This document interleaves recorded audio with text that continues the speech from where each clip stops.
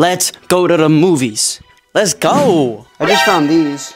They're these all blue heavyweight sweats. Shit, man, let's just throw them on. I don't know what's wrong with these pants, but my socks are blue now from the inside. Wow, that is terrible. Somewhere over the rainbow.